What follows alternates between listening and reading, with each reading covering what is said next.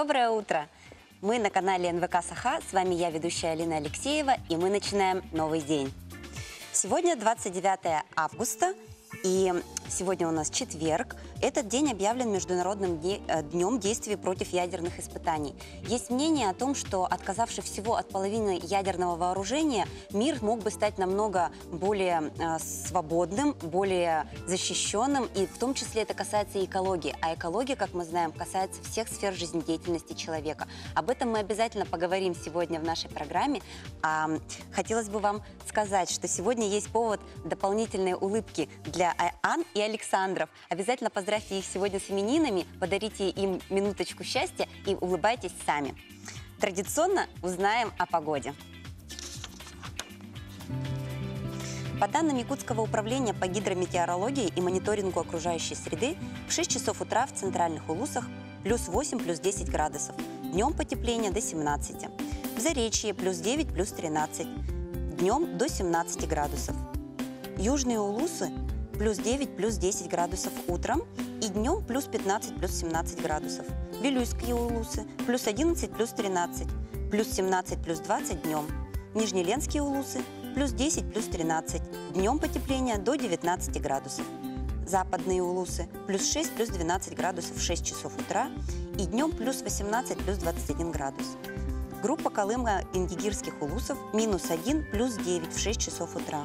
Днем плюс 3 плюс 10. Янские улусы минус 1 плюс 4. Днем плюс 3 плюс 14. Северо-западные улусы плюс 7 плюс 10. Днем плюс 8 плюс 16. В Якутске в 6 часов утра температура воздуха плюс 10 градусов. Атмосферное давление 749 миллиметров ртутного столба. Ветер западный 3,8 метров в секунду. Днем ожидается плюс 16, плюс 18 градусов. Временами дождь.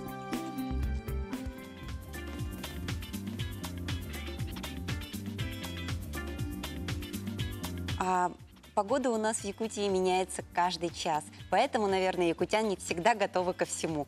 Утром солнце, днем дождь, вечером, вечером снова солнечно. А чего не изменить, так это традиционного выпуска утренних новостей. Узнаем первыми.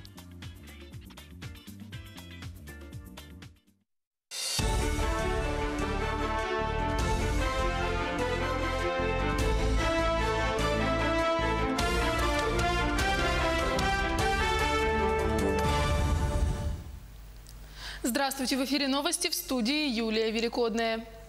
Маркировку потребительских товаров в единой системе обсудили в Якутске на заседании Межведомственной комиссии по развитию потребительского рынка. Местные производители завозят сырье на тароупаковку один раз в год, поэтому при вывозе продукции на российский рынок производители сталкиваются с проблемами сертификации. Заместитель председателя правительства дал поручение до следующего заседания разработать шаги по изменению системы маркировки. Также на заседании озвучили статистику пересечения нелегальной алкогольной продукции. Наблюдается рост административных правонарушений. За 6 месяцев изъяли 160 тысяч алкогольной продукции. Отметили, что недавно было задержано 6,5 контейнеров контрафакта, которые готовили для поставки в северные районы.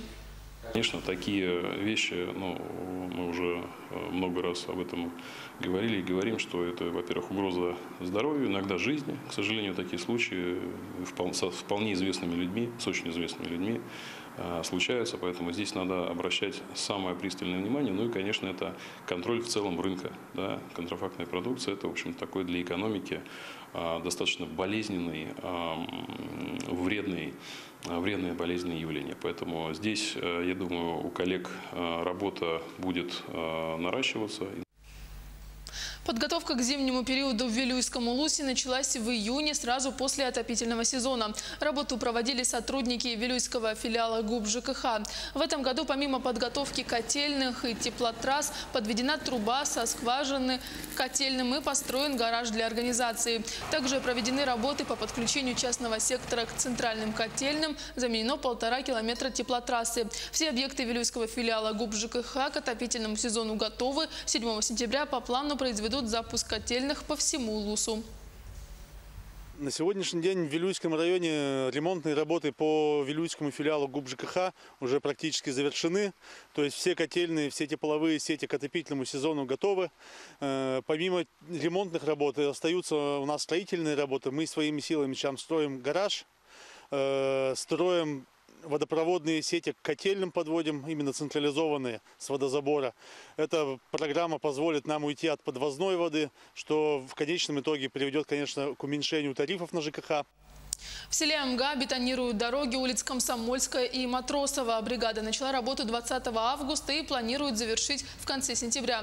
Дорожные рабочие укладывают подушки, затем заливают дорожное полотно бетоном. Индивидуальный предприниматель Николай Алексеев несколько лет занимается производством шлакоблочной продукции и имеет собственный бетонорастворимый узел. Заливаем э, дорожное полотно, бетонируем. Э, улица Матросова, 800 метров. Вот. На данный момент ведется, э, поду- э, ложим подушку под э, бетон, чтобы ну, меньше просадки было. Вот. На объекте работает 6 человек. В планах у нас улица Комсомольская, 860 метров. Вот. Тоже на этот год до морозов нужно успеть все сделать. Новый театральный сезон стартует в Русском драматическом театре имени Александра Пушкина. В это воскресенье, 1 сентября, зрители ожидают полюбившийся многим спектакль «Барышня-крестьянка». А с 6 сентября на сцене представят «Очи черные», «Капитанскую дочку» и комедию «Тетки». Все эти спектакли, а также «Два берега одной победы», «Без паники сеньоры» и два детских «Бременские музыканты» и «Приключения Буратино» войдут в программу гастролей, которые пройдут в Магадане с 18 сентября по 2 октября. А, Выезжает фактически э, вся труппа. Ну, очень приятно, конечно, когда есть возможность э, выехать э, составом больше 50 человек. А в последнее время у нас, слава богу, это получается. И это, конечно же, это для коллектива, театра, для актеров, это огромный стимул. Конечно же, какая-то такая вот прилив энергии, да, какая-то затравка на задел на будущее. И очень хорошо то, что эта возможность у нас есть э, в начале театрального сезона. Оставайтесь с нами. До встречи в эфире.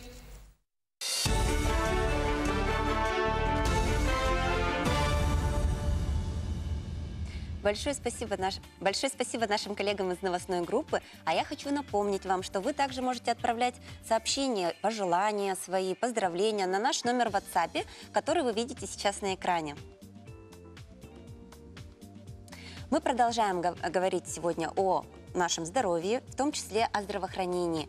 Хотелось бы сказать, что цифровая э, электроника и вообще все, что связано с цифровизацией, прикасаемся сейчас каждый день мы к этому. Оно вот не просто входит в нашу жизнь э, семимильными шагами. Сегодня мы поговорим о том, какие новые виды электронных услуг можем использовать в здравоохранении. Сегодняшний день развитие системы здравоохранения идет в ногу современными информационными технологиями.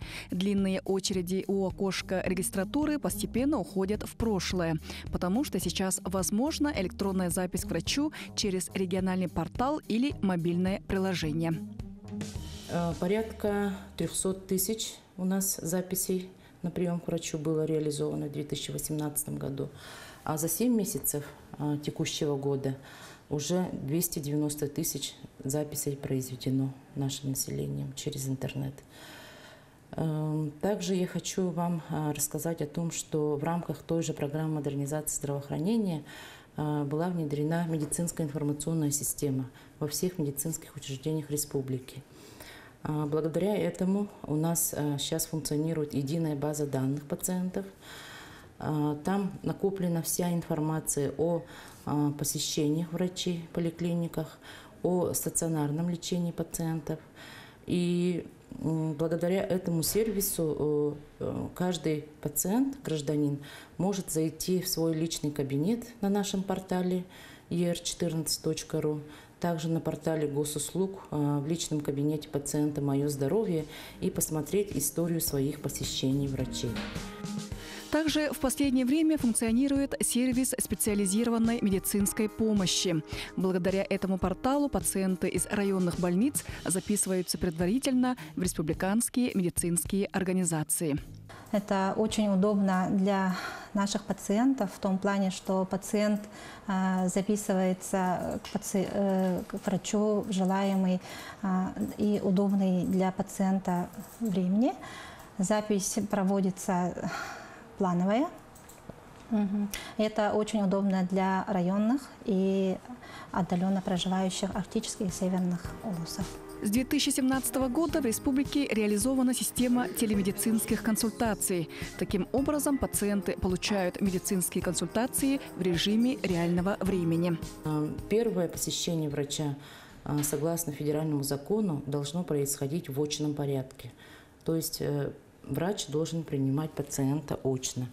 А вторую и последующую консультацию врач может а, реализовать посредством телемедицинских технологий. С 2017 года реализован пилотный проект с Федеральным фондом социального страхования. Это проект по внедрению электронных листков нетрудоспособности. На сегодняшний день в республике их выписано около 100 тысяч. Наталья Колесова, Арсен Степанов. Новый день. Сегодня у нас в гостях Владислав Филигура, заместитель руководителя Департамента по водным отношениям и экопросвещению Минэкологии Республики. Доброе утро, Владислав. Доброе утро. Владислав, расскажите нам, пожалуйста, о марафоне, о экологическом марафоне, который в ближайшее время должен пройти на территории Дальнего Востока. Так, ну, если рассказывать про экологический марафон, то со 2 по 8 сентября на территории 10 субъектов Дальнего Востока состоится экологический марафон, который называется «Чистые берега Дальнего Востока». Ну, данный марафон проводится в рамках э, федеральной целевой программы «Вода Россия». Э, наша республика уже с 2014 года активно участвует в, данных, э, в данном э, марафоне, вообще в данной акции. И хочется отметить, что благодаря массовому участию якутян э, Республика Саха-Якутия уже не первый год занимает лидирующие позиции по самому массовому участию. Вот если взять для э, сравнения, вот в 2017 году, в год экологии, нас было участников 115 тысяч, а в прошлом году уже 117. Получается, уже за последние два года мы стабильно повышаем э, количество участников. Но это, конечно, очень сильно радует. И хотелось бы, чтобы в этом году э, со 2 по 8 сентября наши земляки, якутяне, тоже активно включились в эту акцию. Но сама суть акции, конечно, говорит сама за себя. Чистые берега Дальнего Востока. Это значит, что э, необходимо выйти на территории прибрежных водных, э, на территори- территорию э, водных объектов э, и принять участие в уборке э, береговой линии. Ну, это могут быть озера, это могут быть реки, ручьи. Ну, это, это уже, конечно, как сам выберет. Ну, сама акция по себе очень такая вот прям хорошая за экологию, да, за сохранение рек, чистоты. А вопрос такой, да, э, наверное, сейчас наши телезрители, ну, действительно захотели проявить какую-то инициативу, занять какую-то гражданскую позицию и поучаствовать в этой акции. Как это можно сделать? Как я, как гражданин, могу принять участие в акции на благо сохранения экологии своей республики? Но для этого необходимо, конечно, обратиться в администрации муниципальных образований или в наши территориальные подразделения. Это комитеты инспекции государственного экологического надзора, которые есть в каждом, э, в каждом улусе республики. Обращаясь к ним, э, вы можете уточнить дату, время проведения, ну и место проведения. А также вы, конечно, можете, наоборот, сами инициировать э, и сказать, что мы хотим выйти там каким-то коллективом, может быть, да, мгм. а, на какое-то место, ну и чтобы администрации вам в данном случае как-то поспособствовали, ну, по вывозу мусора и так далее, вот в этом плане. Я со своей стороны призываю всех якутян не оставаться равнодушными к этой проблеме и обязательно принять участие в этом марафоне. А, мне кажется, что любой трудовой коллектив, да, любая компания может поучаствовать вот э, в такой конечно. акции и обратиться даже в округ. Да. Да, почему нет? А, если мы хотим напрямую обратиться вот, э, в ваше министерство, где вас искать? Так, ну, министерство находится по адресу Дзержинского 3 дробь 1. Мгм. А, В 2 ГИС, наверное, многие уже пользуются данным приложением. Мгм, мгм. Вы можете найти наши контакты. А, Или в коми- Якутский комитет государственного экологического надзора. Ну, это в городе Якутске. А так, как я уже сказал, в каждом а, районе у нас есть свои территориальные подразделения тоже, которые могут вам в этом помочь. Это очень э, замечательно, что с веком цифровизации у нас есть возможность быстро, и легко и доступно да, присоединяться к таким большим хорошим акциям. А, у меня еще есть к вам вопрос. А, Вот э, хорошо, акция, она пройдет вот в определенное там время, да, в какое-то. А мы можем дать какие-то со своей стороны рекомендации якутянам, ну и вообще всем жителям, наверное, да, планеты Земля, о том, как стоит, э, что нужно делать для того, чтобы заботиться об экологии.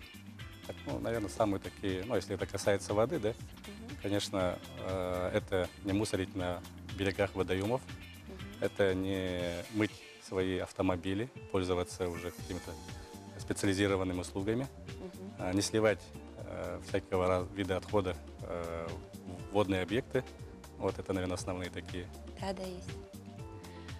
А, это очень здорово. А подскажите, пожалуйста, вы сотрудничаете, может быть, со школами? У вас есть какие-то, вот я знаю, что у вас название, да, такое, экопросвещение. Да. Это говорит о том, что вы, кроме того, что сами боретесь за сохранение, да, вы еще обучаете а, будущее поколение тому, и даже ны- нынешнее поколение, тому, как правильно вот обращаться с Да, конечно, мы совместно с Министерством образования, с Управлением образования в каждом районе э, наши территориальные подразделения, опять же, ходят по школам, проводят экологические уроки, лекции, всякие акции.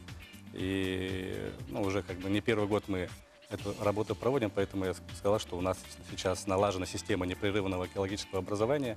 А вот такие акции, как э, «Вода России», «Чистые берега», это уже нацелено больше на взрослое население Мгм. для повышения именно экологической культуры, э, чтобы ну, привлечь больше внимания к вопросам экологии. Мы с вами сказали о том, что каждый человек может поучаствовать, занять гражданскую позицию, да? О том, что для того, чтобы поучаствовать, следует обратиться в округ, можно обратиться лично, можно обратиться коллективно. Да, конечно. А, о том, что эта акция, она проходит ежегодно, и что это а, часть большой программы, да, российской. А вот такой вопрос. Статистика по России. Относительно России и якутяне, они какую вот э, долю, ну, долю процентная э, Ну, как я уже до этого ранее сказал, мы находимся в лидерах, Мгм. там потому что высчитывают из процента проживающих на территории и количество участников.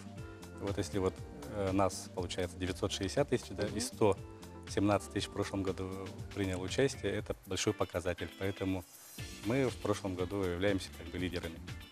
Это очень хорошая и очень замечательная новость. Я считаю, что наши якутяне не остаются равнодушными к сохранению своих э, берегов. Да? А, и замечательно, что такая работа проводится, и что вы прививаете это не только эту культуру детям, но и взрослому населению.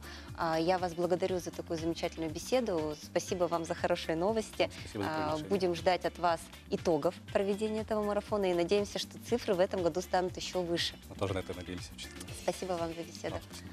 А мы продолжение нашей беседы об экологии и здравоохранении а, будем говорить сейчас о том, что прививать хорошие привычки детям – это самое главное для нас, для мам и для взрослого поколения. Родителям важно знать, что приучение горшка к ребенку это довольно длительный процесс на самом деле. А ребенка вы можете как посадить в раннем возрасте, вот как он сел, да, с 10 месяцев, э, но там будет эффективность небольшая. Потому что в этом возрасте ребенок э, мочеиспускание не контролирует. Дети сами произвольно начинают идти на горшок от полутора до двух с половиной до трех лет. Мгм. Поэтому, чтобы ребенка посадить на горшок, надо будет а, терпение сначала же, и, конечно, это месяцами может продолжаться. Если ребенок заболел, если он себя плохо чувствует, то совершенно в этом периоде не надо давать ему горшок, если он не хочет, да, если он отказывается силой, не надо его сажать, потому что это воспринимается как агрессия ребенком, да. Эффективнее будет э, давать ребенку горшок в начале поизучать. Необходимо поставить на видном месте, где он обычно ходит. Это э, может быть там э, игровая комната, да, ага, в гостиной, где ребенок много времени проводит. Не обязательно, чтобы ребенок ходил в туалет или в ванную, потому что у него с этой комнатой могут связаться какие-то другие страхи детские. да. Сначала в игровом варианте можно показать, как ходит на горшок. И таким образом ребенок потихоньку приучается, и ему будет уже даже ходить в радость. Чистить зубы а, можно прививать уже тоже с раннего возраста. Это вот а, где-то с полутора лет, с двух, с двух с половиной, да. Но для этого надо вначале ребенку, ребенка научить полоскать рот. То есть просто водой. Когда вот только вышли первые зубики, это примерно вот э, в пятом, шестом месяце, да, ага, э, ребеночка, можно марлю немножко намочить и почистить уже зубки. И это делать, процедуру делать каждый день. Тогда ребенок уже начинает а, понимать, что у меня чисто во рту, хотя он причинно-следственной связи пока не делает в этом возрасте, но ему будет приятно. А потом уже потихоньку даем а, пас- ой, зубную щетку без пасты и а, показываем, как мы сами чистим. Вот. И ребенок же хочет всегда стать взрослее. А, в Два года, к трем годам уже, да? И вы говорите, вот как мама, как папа, давай чистить зубы. Обязательно надо помнить, что надо хвалить ребенка. То есть он сделал, да, вот приятно, почистил зубы как мог, вы его сразу хвалите, одобряете, вот молодец. Но это одобрение никак не должно вот подкрепляться конфетами, там, сладостями. Желаю родителям любви, желаю, чтобы они уважали выбор своего ребенка и, конечно же, всем терпения. А мы продолжаем наш новый день, и хотелось бы сейчас затронуть самую актуальную тему конца августа. И, конечно, это то самое блюдо, тот самый овощ, без которого не обходится ни одна якутская семья. Всю осень, всю зиму, всю весну и даже все лето не перестает быть актуальным вопрос картошки. Смотрим наш следующий сюжет. Родина картофеля – Южная Америка, где до сих пор можно встретить дикорастущий картофель. Введение картофеля в культуру было начато примерно 9-7 тысяч лет тому назад. В то время индейцы не только употребляли картофель в пищу, но и поклонялись ему, считая одушевленным существом. Первая картошка попала в Россию из Западной Европы еще в 17 веке по инициативе царя Петра I. Уже в 1736 году новый овощ выращивали на аптекарском огороде в Петербурге и подавали на придворных банкетах как экзотическое блюдо. 19 января 1765 года по инициативе медицинской коллегии для предотвращения голода вследствие недорода хлебов был издан указ Сената сажать картофель на российских огородах. Однако на протяжении всего 17 века массового распространения в России картофель так и не получил. Помимо культурно-религиозных причин, довольно частые случаи отравления плодами чертова яблока также приводили к тому, что в массе своей крестьянское население России новый овощ долго не принимало. 26 августа 1770 году в трудах Вольного экономического общества появилась первая научная статья на тему картофеля «Примечание о картофеле». Впервые название «картофель» вел в русскую речь ученый-агроном Андрей Тимофеевич Болотов, который первым в России приступил к выращиванию культуры на огороде, а не на клумбах, положив тем самым начало массовому распространению на Руси. В 1840 году правительство предприняло меры по внедрению культуры выращивания картофеля, что встретило сильное сопротивление крестьян, поскольку у них отбирали под картофель лучшую землю, подвергали наказаниям за неисполнение предписаний властей. В ответ на принудительное ведение посевов картофеля по стране прокатились картофельные бунты.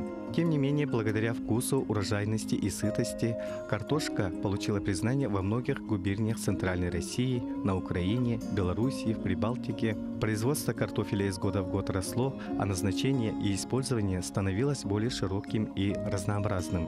Не зря сегодня нередко картофель называют вторым хлебом. Я благодарю вас за время, проведенное с нами. Желаю вам хорошего плодотворного дня. Улыбайтесь, дарите улыбки, наслаждайтесь последними деньками лета и встретимся с вами завтра.